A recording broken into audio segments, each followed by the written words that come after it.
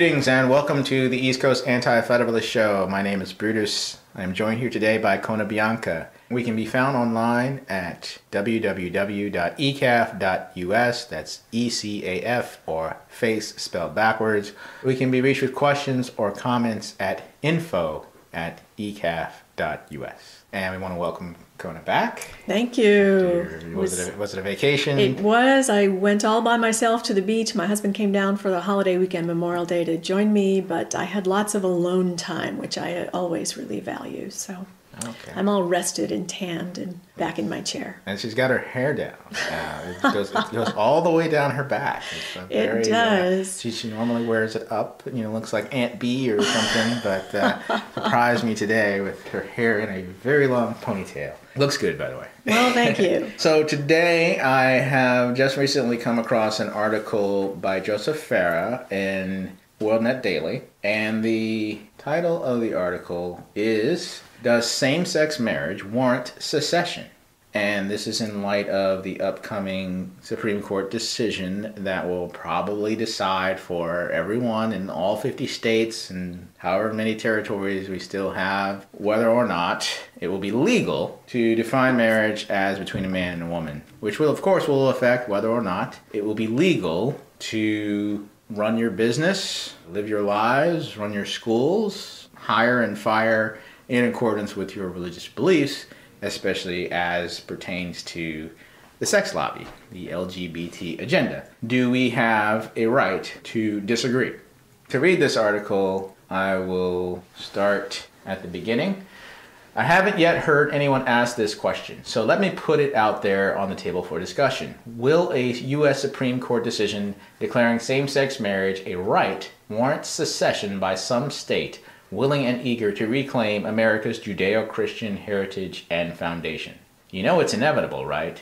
The fix is in. Two members of the Supreme Court have personally officiated at same sex marriages.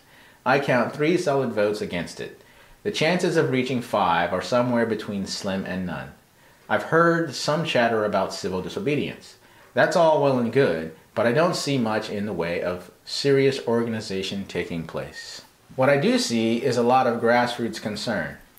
I know there are millions of Christians, Jews, and others who would pull up stakes and move to another country that honored the institution of marriage as it was designed by God, a union between one man and one woman. As Jesus said it, For this cause shall a man leave father and mother, and shall cleave to his wife, and they twain shall be one flesh. Is there one state in 50 that would not only defy the coming abomination, but secede in response? The rewards could be great. I would certainly consider relocating. How about you?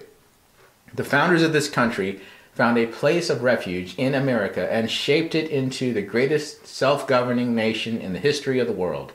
Just think what one state could do if it simply stuck to the principles that made this country great. Americans wouldn't have to cross an ocean to rediscover what brought most of our ancestors here. We could simply drive. Are any states so inclined? I haven't heard this question raised by anyone else, so I'm raising it now. We don't have much time before the nine high priests in black robes decide to follow Baal instead of the one true God of Abraham, Isaac, and Jacob. We need a promised land. We need an Exodus strategy. If not a state, are there any nations in the world interested in a pilgrimage by millions of Americans? It's time to start asking the question. Maybe you ask, Farah, why is this such a big deal for you? Will it really make a difference in the way you live? It's not me I'm concerned about. I'm old. I'm married. Most of my kids are raised. It's my grandchildren I'm thinking about. It's the next generation. And the one after that. I know what comes next. We're already seeing it. With same sex marriage, the handwriting is on the wall. With it comes persecution of people of faith.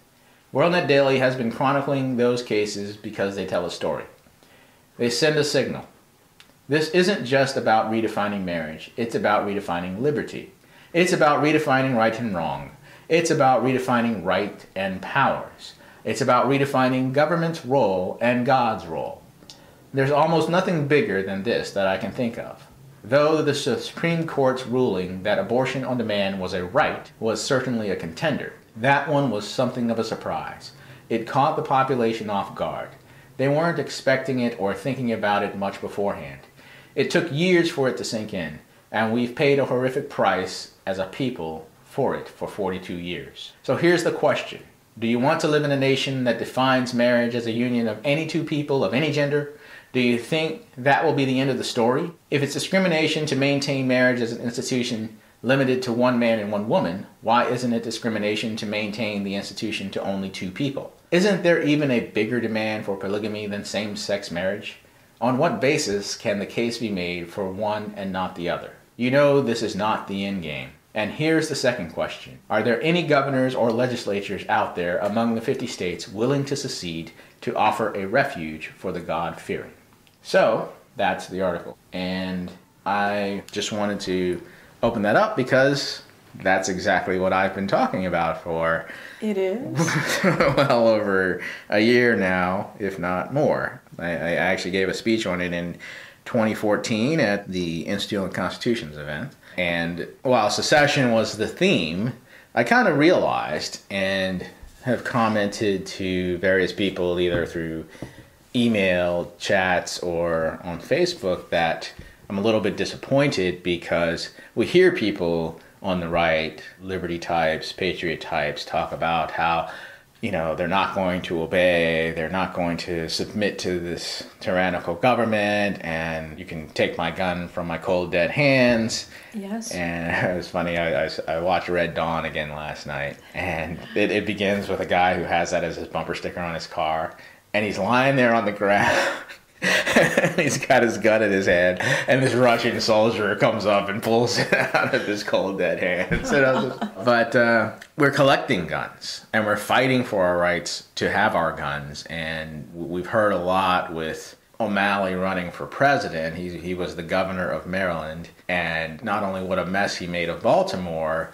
But how his gun grab ticked off so many people that that's one of the reasons that people were ready to, to vote in a Republican and governor. chased a big employer out of this county. uh, Beretta, 400 jobs, good jobs, Yeah. gone to Tennessee because of Martin O'Malley. exactly. Yeah.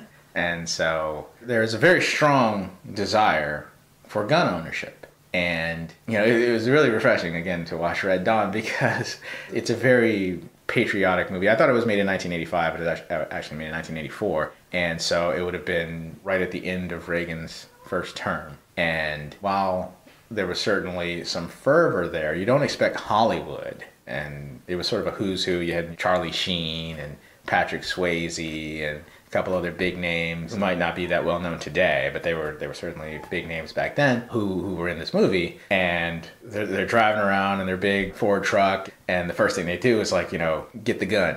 Make sure you know how to load it. And, and they're going through all these things that in today's world you wouldn't see in a movie, or, or if, if it was a movie, it would be like some kind of tough guy, Stallone, Expendables movie where like everybody there is just a big self contained army and stuff. But this was really more, you know, all these kids were high schoolers, but they all knew how to shoot a gun. You know, even the girls were out there shooting shooting machine guns and stuff.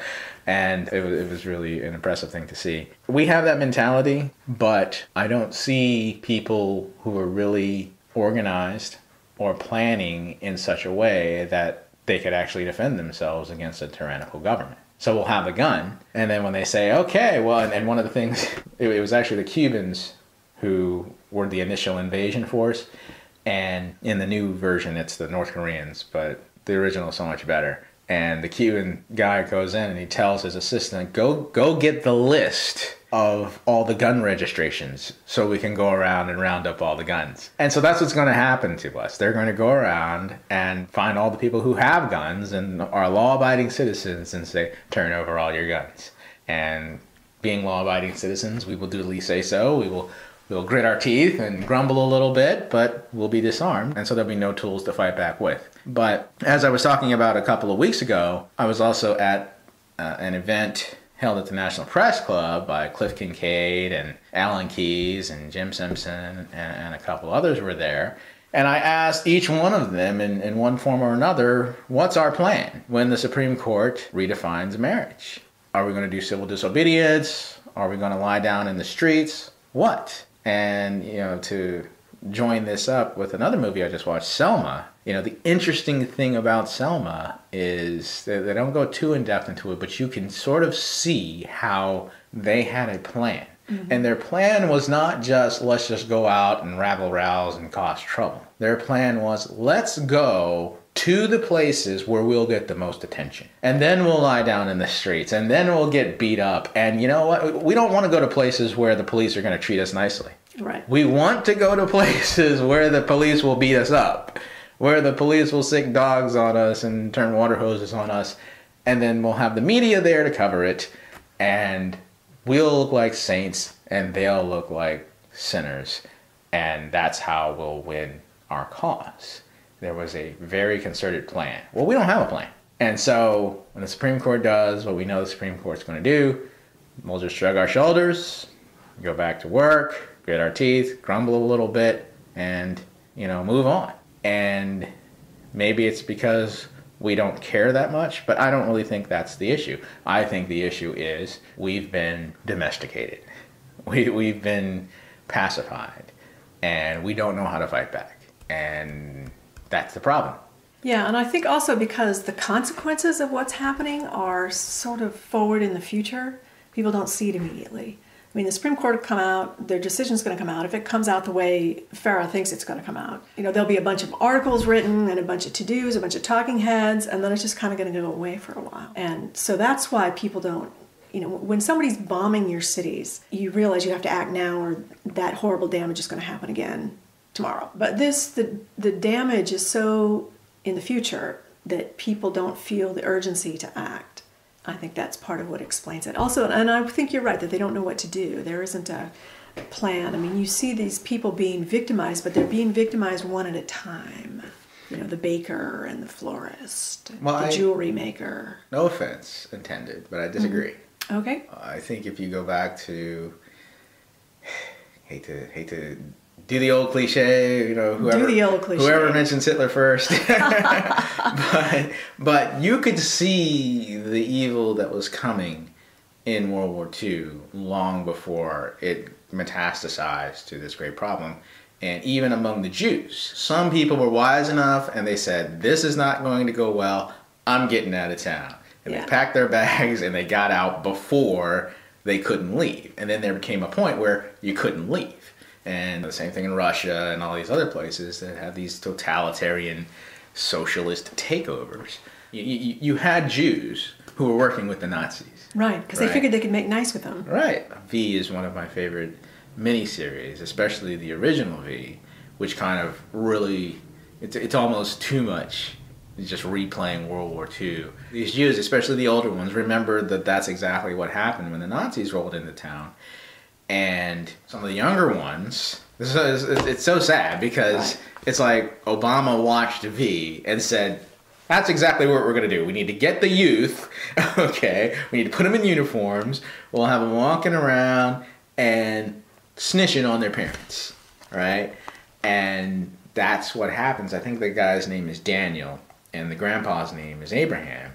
And Daniel is he he joins the visitor youth, and the visitor youth, you know, they wear uniforms that are very similar to the visitor uniforms, and they even get guns at a certain point. Mm. And then they're told that sometimes your parents may be planning subversive ideas. Well, just tell us about what they're doing.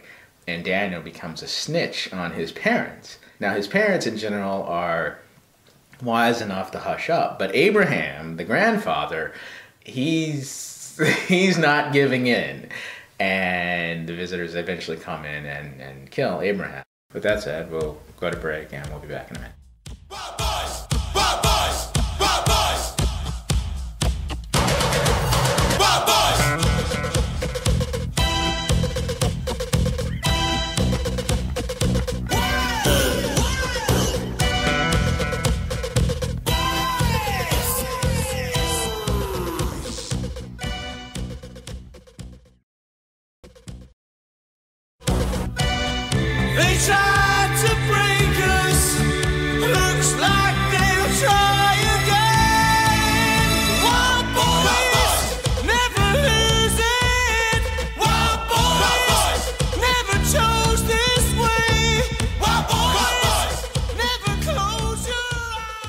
Back to the show. Before the break, we were talking about Joseph Farah's article in WorldNet Daily about the possibility that the Supreme Court redefining marriage or making same sex marriage legal would or should or could lead to secession. And one of the things that I think makes this discussion very relevant is where we as a people have come today. Certainly, there are folks who write at WorldNet Daily and Family Research Council and other people who've been involved in the family movement who who feel this way to varying degrees. And, and that's one of the problems is because there are varying degrees you're not going to have any consensus. So joseph farah just like myself is probably looked at as an outlier right now. He's not mainstream. He's oh you're crazy. How dare you suggest that right? You know and i've been suggesting it for years because i don't know i, I don't consider myself to be that visionary or prophetic but i've thought about this i've at least been focusing on this issue concentratedly since the year 2000, and I don't see any other way out of it. And that's why it was such a surprise to me when when I got into politics about 2007 or 2008 and civil civil unions was already off the table and I hear all these Republicans, well why don't we just give them civil unions? Civil unions have already been ruled out. Civil unions was ruled out in Massachusetts. Why are you even bringing that issue up? And so we've still got major people running for president, Carly Fiorina, and all these people who still want to push the civil unions line. It's like, come into the present, please. Learn about this issue, figure out what's already been uncovered so that we can make the right arguments. And what happened in Massachusetts about civil unions? It just uh, went to the court, and the court said this is no good. It's it's not equal. It it was actually California, their Proposition 8 that said marriage is for heterosexuals, civil unions are for homosexuals. I think Massachusetts was similar for homosexuals, just not calling it marriage.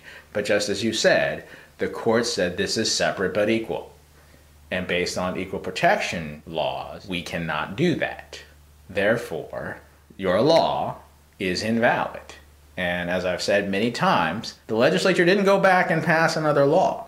There is no law in Massachusetts that says two men or two women can get married. It's just a court decision that says it, which is completely wrong. It, it completely violates the whole process of Republican government. Legislatures are supposed to pass laws. If a court disagrees with the law, you can strike it down, but then the legislature has to come back and pass another law. Without that, the court has made law. Yeah. And that's what's going to happen in, in a week or so. That's what happened with the Windsor decision. The court struck down Section 3 of DOMA, didn't strike down Section 2, and to my knowledge, the Congress hasn't come back and passed another law. But everybody decided, up, oh, Defense of Marriage Act is completely unconstitutional. What about this whole severability clause? You know, they, they pulled it up for Obamacare. Why doesn't it apply for the Defense of Marriage Act? Nobody ever said the entire Defense of Marriage Act was unconstitutional. They just struck down Section 3, which I think was wrong. But the right thing to do, and I, you know, I asked Michele Bachmann, I asked, you know, people who were out there at the time, I asked Steve King and these folks, let's introduce a new law. And why don't we have the new law say the same thing the old one did, mm-hmm. and then let them strike it down again if they really, you know, feel like doing it. And maybe we can put in the right president, and he can nominate the right people to the court, and then the court can make the right decision. You know, people just don't want to do it right. They want they want what the court says to be the end of the argument, and that's how you get your rights stripped from you. That's how you get a Dred Scott decision. That's how you you get things taken away. And so a lot of people in the in the pro family movement, Brian Brown and Rick Santorum and all these people are like, oh well, the only way we can overcome a Supreme Court decision is constitutional amendment. So we got to have a federal marriage amendment. Well, no, you don't want that. You don't want marriage defined by the national government. It, that it belongs to the states. That's what the Tenth Amendment says. And if you believe in what the Constitution says, right. I know I have my problems with it, but that's you know a side issue. If you want to go by it and you believe that there's a logic to obeying the constitution keep with the spirit that the issue of marriage belongs in the hands of the states. But we're not doing that. And so you've got you've got one group of people saying you know they're throwing their hands up in the air supreme court has ruled let's move on to some other issue.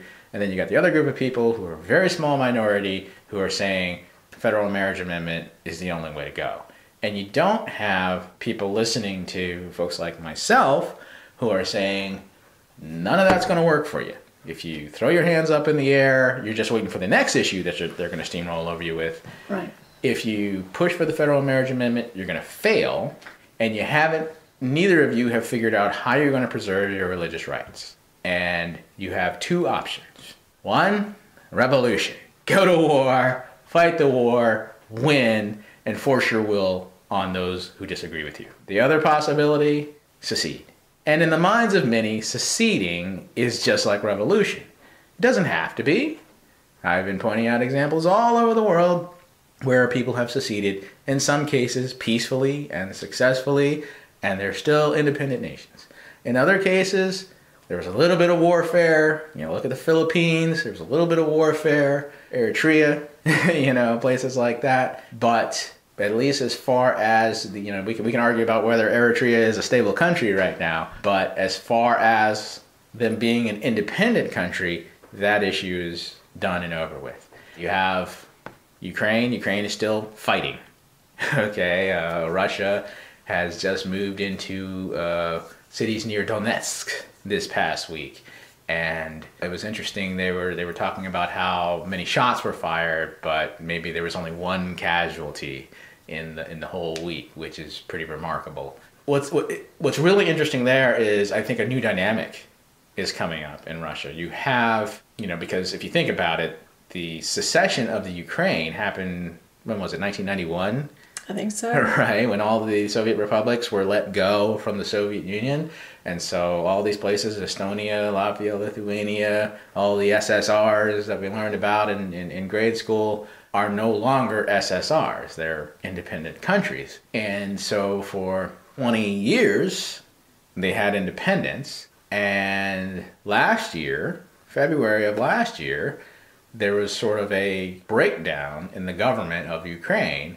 where Viktor Yanukovych had to leave office and was forced out of power. And you had this big demonstration in the middle of the town square, the Maidan, the Euromaidan that they were talking about. And this had something to do with uh, a group of people who really wanted to be a part of the EU. And so they wanted to link the Ukraine with the European Union and of course, that's not so much in the interest of Russia. So Russia Russia wants to maintain some kind of hegemonic power over Ukraine. And this somehow developed into a conflict over the Crimea. Mm-hmm. And that that flare up has sort of gone away because this area of Donetsk is not in Crimea. you know, that's in a, it's in a more central part of Ukraine. And so it seems that Russia is really just taking advantage of the, the instability in the Ukraine and the fact that the European Union is so weak and so incapable of standing up to Russia. And oh, yeah, the United States isn't going to do anything. So, and you know, of course, we've got a couple of senators out there saying we should be sending missiles and we should be sending, you know, arms and supporting the Ukrainians and things like that. And so you have this pro Russian side and then you have this pro Ukrainian side. And so basically, Russia's going to take what they can out of this and knows the maps might be withdrawn sooner or later. And that's something, you know, that, that's something that raises a lot of people's fear and concern, but that, that could happen anywhere in the world tomorrow right? Think of all of the teeny tiny little island nations or the Luxembourgs of the world or, or places like places like a, a lot of us don't even know exist, like Slovenia. Right? It's like, well, yeah, we know about uh, Serbia and Bosnia and all those other parts of Yugoslavia, but but where exactly is Slovenia and what are they doing these days, right? And what if that one of their neighbors decided to start just moving in? It could happen anywhere in the world. And the ideal situation, if you were interested in them surviving, would be to turn to the European Union or turn to the nearest country, the nearest big country with power beside them, and say, hey, can you help us defend against these aggressors over here? Because we don't have much of a military. And the alternative to that is build a big military and and and patrol. Uh, as I've studied about Rome, you know, Rome started off as a very very small group of people with us with an army who were just willing to go in and invade the next door neighbor and, and conquer. And once they got that, they made themselves bigger and invaded more and invaded more until the next thing you know, they were all of Italy, and then they were spreading into Spain, and they had most of Europe, and were going into Africa, and and you know, how did that happen? It was it was a, a willpower to move into neighboring areas, but it was also an understanding that you had to be militarized and you had to stay militarized so that somebody couldn't come back and invade you. And how did they lose their power? how did they stop being Rome at the end of the day? Was when people like the Vandals, people like the Visigoths came into their society. I think in, in most of these cases, they were not seen as a threat, but once the internal politics of Rome allowed these folks to sit on the throne or to sit in positions of power, they were able to say, well, we're not Roman, and what interest do we have in the future of Rome? And so that's how Rome Rome lost its Romanness at the end of the day. And not to mention you had all your Germanic tribes and everything, even though they had been defeated, they hadn't forgotten. And as time went on, they eventually all said, Hey, we want our country back. We want our land back. So now Rome doesn't cover all of Europe. it doesn't cover North Africa, but a lot of the influence is still there. And so we need to study we need to study all of this to be quite honest. I really would like to see Tea Party meetings where we get history lessons. I guess I guess people would rather just give rah-rah speeches and lower taxes is going to save the day, but I'd like to understand the history so that if we have to do this again, we know how. And we know what has worked in the past and we know what has not worked in the past. Uh, we were talking about Selma earlier and how interesting movie because uh, oh, it's partially produced by Oprah Winfrey and, and Brad Pitt is part of the credits too. Oh, I didn't know that. Yeah, and uh, he's, he's he, Oprah Winfrey. Unlike Brad Pitt, Oprah Winfrey put herself in In the movie. every major scene in the movie. It's like she, I think Annie Lee Cooper is the name of someone she's portraying, and so she's always like three three people behind Martin Luther King or something like that. And I have to watch it again because they were saying there was someone who was basically a professional or a, an experienced protester, uh, basically, a, you know, an agitator, someone who gets a kick out of going into places and making a scene, and if necessary, getting beat up for the cause. And in one sense or another, you know, that's what John Lewis did. It's kind of funny, like you, you listen when you listen to the words of the of the movie, they're kind of unraveling a lot of their plan. There's not enough there to really build a case out of and say, let's just follow this textbook. But there's a lot more there than you get from watching PBS or some the coverage on C-SPAN or anything like that. They're really telling you how they did what they did. And you know, so for example, when when, when Martin Luther King says, "I don't want to go to the town where the sheriff, you know, when they did arrest people, they, they treated them nicely. When they when when people were carried off to the ambulances, they, they carried them off in stretchers. There, there was no beating, there was no hoses or anything. And you compare that. I don't know how much of this is authentic, but when they're showing the footage on the Edmund Pettus Bridge, mm-hmm. you know, they've got the guys riding through on horseback, and one guy has a whip. one guy has a whip. He's like whipping the guy. And because the movie had to be altered, uh, as I understand it, the King Foundation has a copyright on all of his speeches and stuff. So apparently they could not use any of his actual words. So a lot of what he says in the movie is not verbatim what he actually said. So I don't know if they've generalized it, moved a few words around, tried to get the gist. But uh, but I know like the final speech he gives, he's he's quoting, you know, mine eyes have seen the glory of the coming of the Lord. Let's go to break and we'll be back in a minute.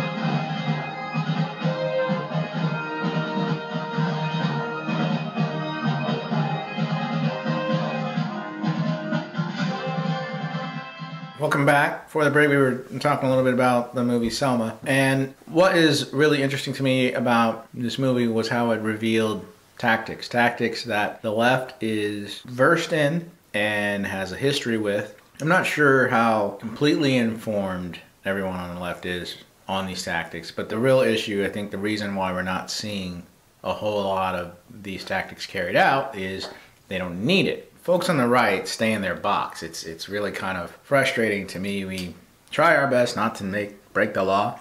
Mm-hmm. We clean up after ourselves at uh, at, at our, tea parties and yeah, stuff. Events. And, and and we even brag to ourselves about cleaning up after ourselves. And we try to do everything by the book. And so one of the things that the movie Selma kind of brings out is that Martin Luther King was a lawbreaker. And the interesting thing about his nonviolent strategy is that it's a strategy. First and foremost of all, it's a strategy. It's not that it's it's better or it's holy or anything like that. It's just that um, there's a scene in there, for example, when uh, I was talking about how John Lewis was on the bridge, and one of the things that kind of surprised me was after the police had ridden through and beat them up and everything, they turned back and he led the march back to the church. And I'd have been like, why am I following this guy? He's retreating. You know, I'd have, you know, if he led, if he kept pushing through, that would be something. Or, or if everybody had gotten taken to the hospital, that would be something. But to hear that he led the the group back to the church, I often I wondered in the back of my mind because if I had, I, I, I didn't get along well with our marriage movement because I was not a controllable entity. Mm-hmm. And there was a point in there, I can't remember what the issue was, but some one of the leaders asked me. He said, "Are you going to do that no matter what? Are you going to say that they were probably arguing about the you know message. Because we talked a lot about how they, oh it's about families and children and and every kid deserves a mom and a dad and that was their line. And if you didn't repeat that line if you deviated and you quoted scripture or you said homosexuality is an abomination or anything else like that you were on their persona non grata list. Mm-hmm. You you were you were unwelcome. And so I just raised my hand at a meeting and I say, I, you know, I don't think your tactic is going to work. I think we need to approach it in, in, a, in a more militant fashion. And they said to me, well, are you going to stick to that opinion no matter what, even though we say otherwise? And I said, yes. That was the last I heard from them. They didn't invite me to any more meetings. They didn't involve me in any more stuff. And we see how that turned out. It, it isn't necessarily better to water down your message and, and, and be peaceful, especially when the media is not on your side, the bleeding hearts on, on on your side. I mean, basically, you're trying to you're trying to put bleeding heart activism against bleeding heart activism, and the bleeding hearts were already with the homosexuals. So if I had been there marching with John Lewis and I saw our so-called leader turn around and head back to the church, I'd have probably kept walking the original direction we were going, and you know I wonder if there was someone who did. You know, the, the media wouldn't have covered it.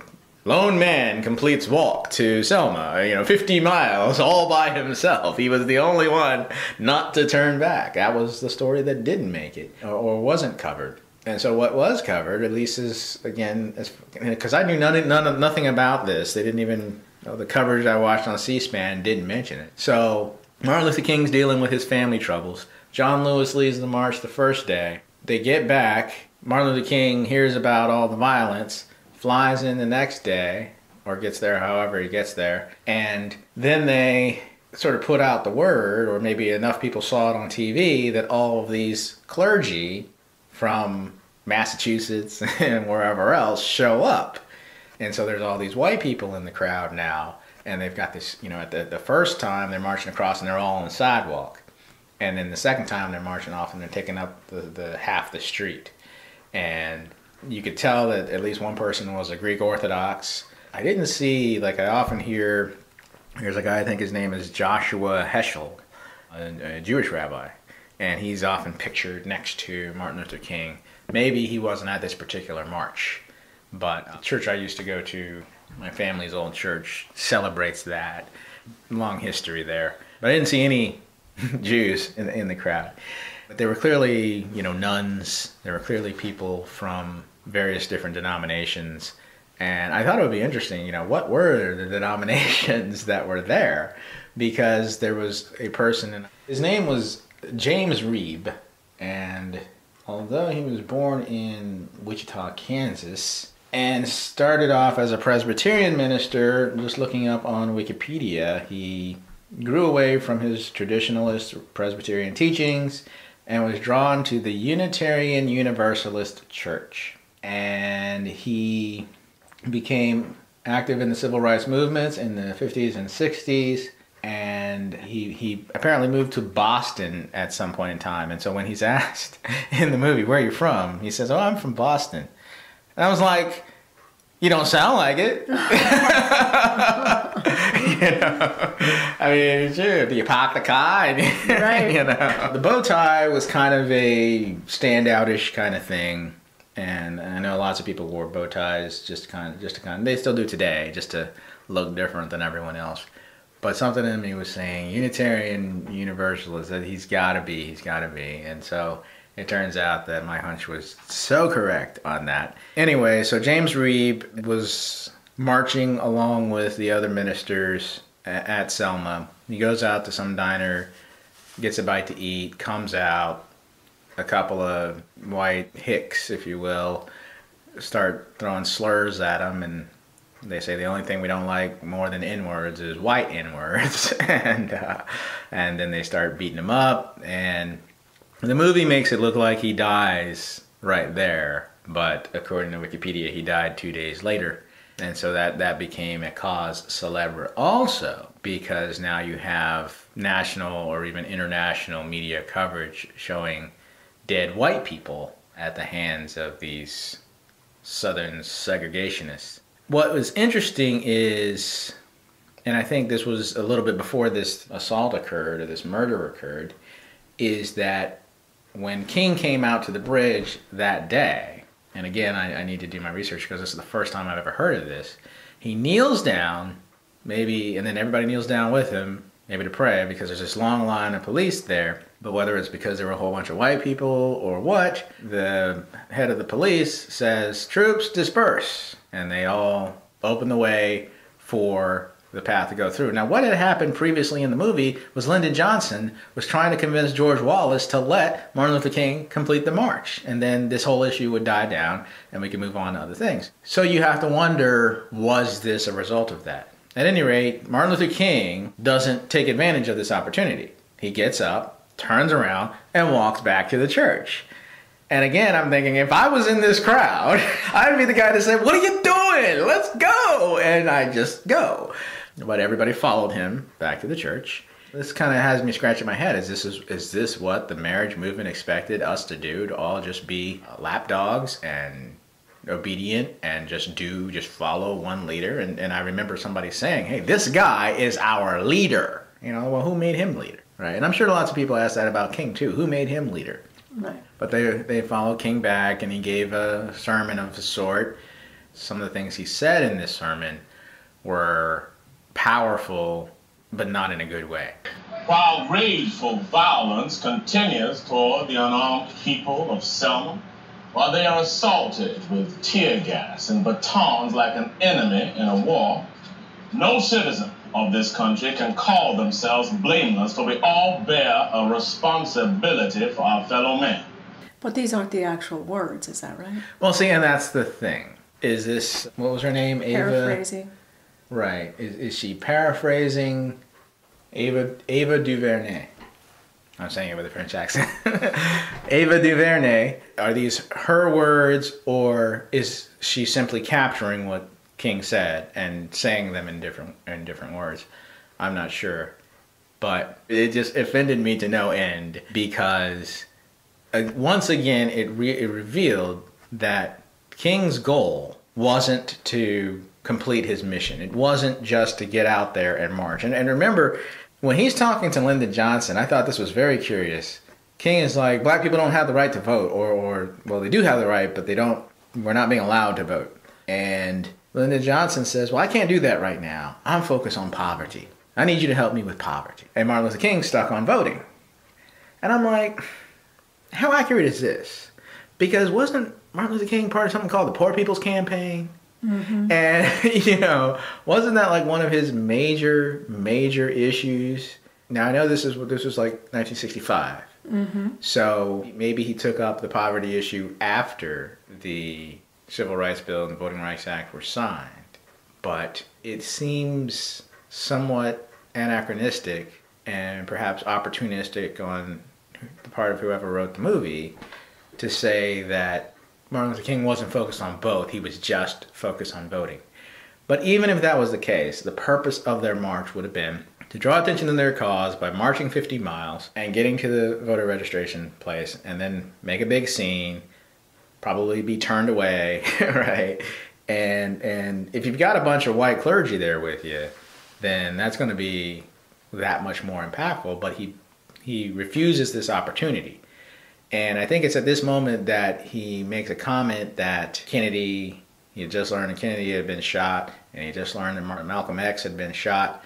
And so these things were something not to let their deaths be in vain. Mm-hmm. You know, so go out there and, and do your protests so we can one day get the right to vote.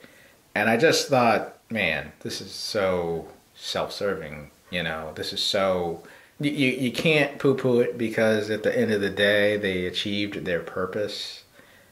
But this is just the wrong way to go about things. Mm-hmm. I didn't I didn't like it at all. I didn't like his strategy. I didn't like the idea because I take death and dying very seriously. And when you're going to put your life on the line, you know, it can't be just because oh, I don't like Sheriff Bull Connor or I don't like Jim Clark and you know, I want to put a whole bunch of black people on the voting rolls so that we can vote him out. I, I, I think there needs to be something more real and more serious that I'm going to be willing to die for, or, or more importantly, I'm going to be willing to let other people die for. Mm-hmm. Because I don't know who's going to die tonight Right. when we go out there and march through the streets and there's someone yelling at us that this is Ill- illegal march.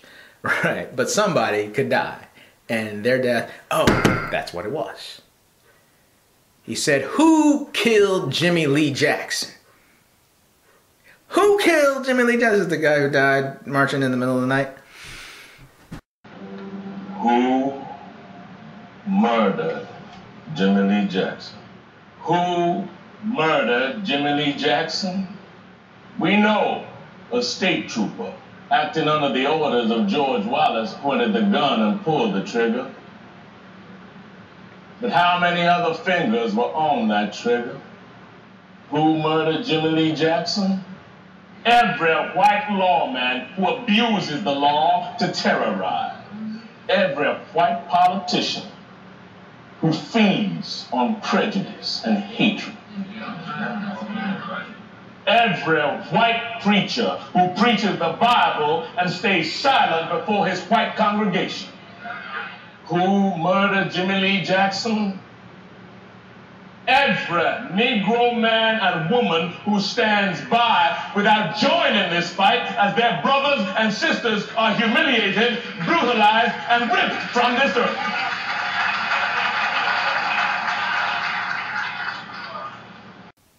Everybody but himself. And everybody but Jimmy Lee Jackson.